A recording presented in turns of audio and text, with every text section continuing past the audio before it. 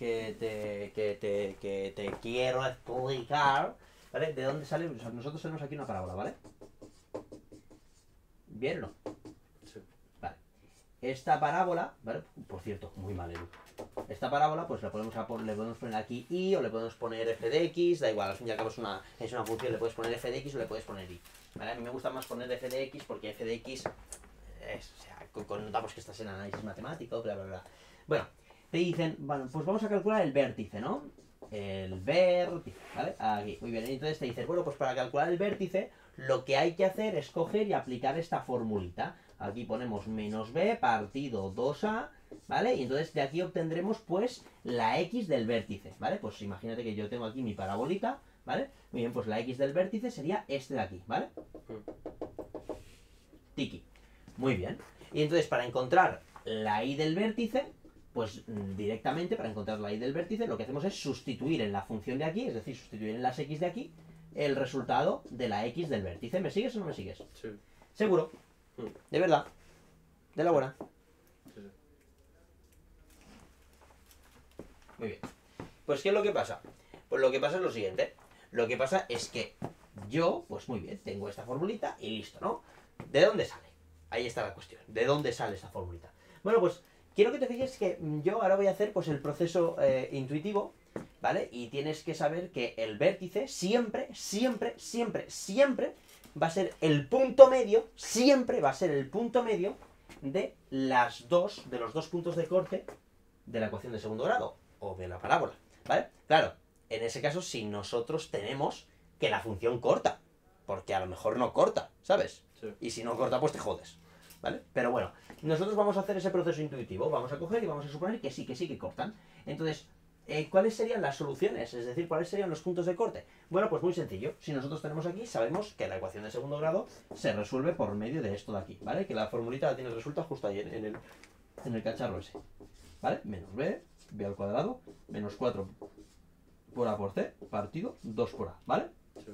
Claro, nosotros aquí tendríamos esta formulita tan golfita, ¿no? Muy bien.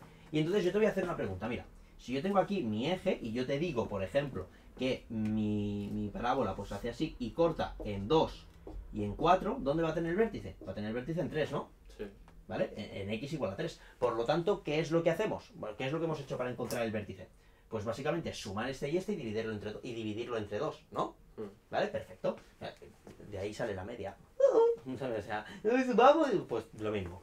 Pues, ¿qué va a pasar? Que yo, ¿cuáles son las soluciones de esta basura? Las soluciones de esta basura son básicamente x es igual a qué? x es igual a menos b más la raíz cuadrada de b al cuadrado menos 4 por a por c partido 2 por a. ¿Bien o no? Sí.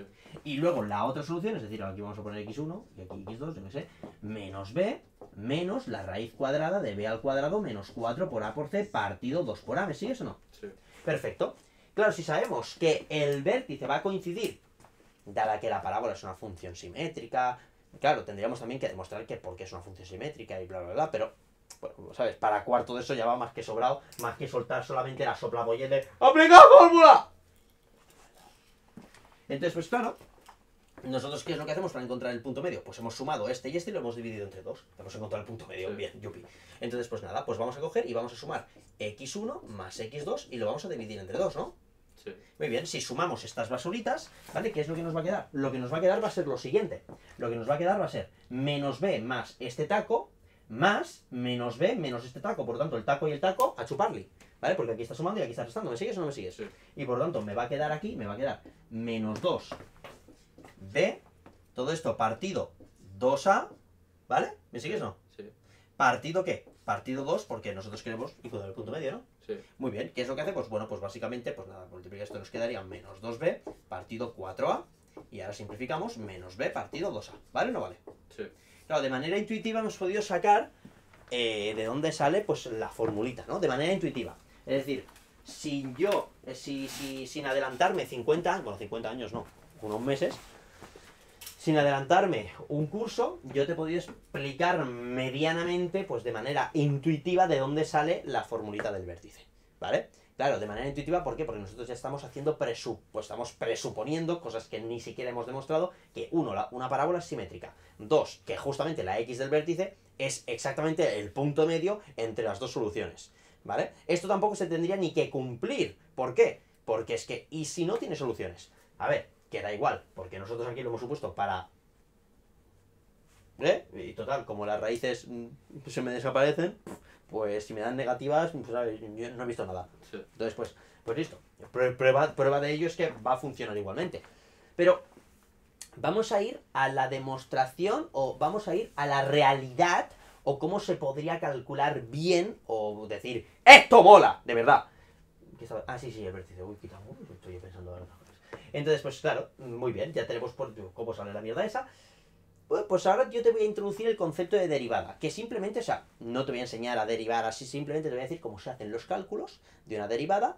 Ya el año que viene ya nos meteremos y ya veremos por qué se hacen así las derivadas, por qué, ah, en fin. Pero ahora nos vamos a meter y yo te voy a introducir el concepto de derivada. Y para que tengas una ligera idea, la derivada, ¿vale? La derivada de una función nos da otra función que contiene la información de la pendiente de la función principal. Es decir, si yo cojo una función, la derivo, esa cosa me dice qué pendiente tiene la función principal en cualquier punto del, del universo. ¿Vale? De hecho, tú, te tienes- tú tienes que saber que, por ejemplo, esta recta y es igual a 5x más 1, ¿vale? ¿Cuál es la pendiente de esta recta? El 5, ¿no? Cinco, sí. Muy bien, entonces pues te puedo asegurar que la derivada que se escribiría y' sería 5. ¿Vale? No me gusta nada poner y', ¿vale? Me da, me da puto canguele. Pero bueno, ya nomenclaturas ahí, chupi chupi, te la puedes inventar tú unas cuantas si quieres.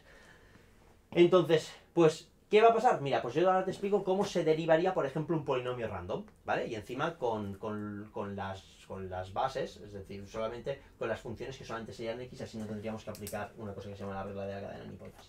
¿Puedo borrar por aquí? Sí, sí, sí. Vale, entonces pues mira, yo te voy a explicar cómo se deriva un polinomio. Un polinomio, por ejemplo, un polinomio tan random, f de x es igual a pues 7x elevado a 5 menos 3x elevado a 3 más 2x elevado a 2 menos 5x más 4. ¿vale? 4, vale. Entonces, pues ¿cómo se deriva, por ejemplo, un polinomio? Un polinomio se deriva haciendo esto. Cogemos el, el numerito del exponente y lo pasamos multiplicando al coeficiente, ¿vale? Mm. Se le resta 1 y seguimos. Es decir, f' de x quedaría como, bajamos el 5, me quedaría 35 por x elevado a, le resto 1, 4, menos, le bajo 1, le me quedaría 9, x elevado a 2, más, le bajo 1, 4x, esto, la, la x se pira, ¿vale? Y esto es 0. ¿Por qué? Porque las constantes, ¿cómo se representan? Se representan así con una línea. Entonces, ¿qué pendiente tiene esta mierda? 0. ¿Vale? ¿Me sigues? Sí. Entonces, esto de aquí sería la derivada de esta función. ¿Vale? Esto no lo tienes que saber tú hasta el año, bueno, hasta el año pasado, da igual. O sea, mis niños de, la, de los buenos tiempos aprendían a derivar en cuarto de eso, que no hay ningún problema. Lo único que son los niños son vueltos tontos del curva. Bien, pues si sabemos esto, te voy a hacer una pregunta. Eh, tenemos aquí la parábola, ¿no? Mm. El vértice coincide con este puntito de aquí, ¿no? Y este puntito de aquí es el máximo o el mínimo, en este caso es el mínimo, ¿vale? Pero da igual, si hubiese sido el máximo, pues hubiese sido el máximo. Entonces, ¿qué característica tienen en común tanto este puntito, es decir, el vértice de aquí y el vértice de aquí? El vértice de aquí. Es decir, este, tiene, este es un mínimo y este es un máximo. ¿Qué característica tienen en común? Pues que los dos tienen pendiente cero. Mm, piensa, o sea, mira aquí, dices, aquí la función baja, baja, baja, es decir, tiene pendiente negativa, negativa, negativa, negativa. Aquí ni sube ni baja, aquí Sí, se queda igual. Entonces tiene, aquí tiene pendiente cero, ¿vale? Y aquí tiene pendiente positiva, sube, sube, sube, sigue subiendo y a tomar por culo. Aquí sube, sube, deja de subir, pendiente cero, baja, baja, baja, baja, pendiente negativa, ¿vale? Entonces, claro, si yo ahora yo te he dicho así, te lo he dicho y tú me has creído, ¿vale? De que la derivada te da la información de la pendiente, yo voy a coger y se lo voy a preguntar, así tan inocentemente. A lo mejor pues me dice algo. Entonces, pues, borrar. Sí. Vale. Entonces yo voy a coger y voy a coger esta de aquí, ¿vale? Una parábola random, una parábola así inofensiva, todo bonita. Entonces esta parábola tan sexy, tan golfa, tan bonita, tan, bueno, no es tan asquerosa, ¿vale? Pues yo voy a coger y, y le la voy a derivar, ¿vale? Voy a obtener la expresión que me da la información de la pendiente de dicha función. ¿A que sí, bebé? Mm. Oh, yeah, baby. Muy bien, entonces, pues, ¿qué hacemos? Pues, ¿te acuerdas del proceso del cálculo que te lo he metido así como así? ¿Vale? Que, mm, bueno, o sea, la, la peor explicación de derivadas es cuando hago esto. Entonces, pues, ¿qué hacemos? El 2 cogemos y lo bajamos, ¿no? Sí. 2 por A, porque es un número, no sabemos lo que vale. X, le restamos 1, ¿vale? Entonces me queda elevado a 1, muy bien. Cuando yo tengo un número por X, me queda el número. Y si es un número, pues me queda 0, Cero. ¿vale? Entonces tengo esto, ¿no? Muy bien. ¿Qué pendiente tiene un máximo un mínimo? Es decir, el vértice. Cero, ¿no? Cero. Muy bien, pues lo voy a decir. ¡A ver tú, Paco! ¿Cuándo tienes pendiente cero? Ya está. Y, y- y te lo dice, te, te- te lo dice, te, te- te- te lo dice. Entonces, ¿qué hacemos? Pasamos el b al otro lado restando, me quedaría 2ax es igual a menos b, y entonces el 2a está multiplicando la x, ¿no? Sí. Lo paso dividiendo, entonces ahora me queda pues menos b partido 2a. Y de aquí tenemos exactamente el valor de la x que hace que la pendiente sea cero. Y a chuparla, ¿vale? ¡Ah! ¡Uf, ¡Fórmula! ¡Oh! Ah, eso sí, profe. Bueno, pues ya está, listo. Eh, una cosa, así pa- para, para, para, para, para aclarar algo, no hace falta ser ni superdotado ni tener 30 carreras como tengo yo pa- para saber esto. Yo soy más tonto que una piedra, ¿vale? Esto se busca en Google y seguro que se encuentra. Me encontrarás a mí pero- No, a ver, es broma. Es que siempre que busco algo, siempre digo, coño, va a salir un vídeo mío. Y yo, es que claro, porque todas las preguntas que me hago yo cojo, me las grabo, me las respondo y luego así voy. Bueno, eh, ¿vale? Entonces, claro, la I cómo saldría, pues nada, sustituimos aquí y listo.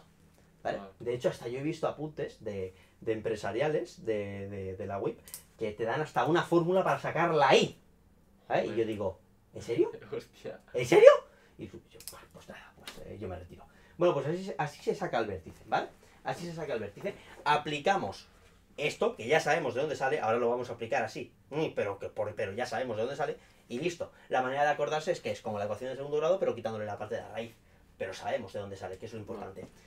Entonces, para graficar, para hacer la graficación web mm, de una parábola, yo solamente quiero los puntos de corte y el vértice. Y si me apuras el punto de corte en el asís y a chuparla, ¿vale? Más, no gracias. ¿Por qué? Porque mi tiempo vale oro y si puedo jugar una partidita al Minecraft, pues prefiero jugarla antes de que estar sacando putos números de mierda, una puta mierda de función, ¿vale? Para eso me pongo a hacer derivadas, que más entretenido. ¿Bien no? Sí. Pues, pues listo, pues ahora haremos, ahora haremos... Uf, me muero de hambre, a ver. Esto me- Ve. En serio, ¿por qué?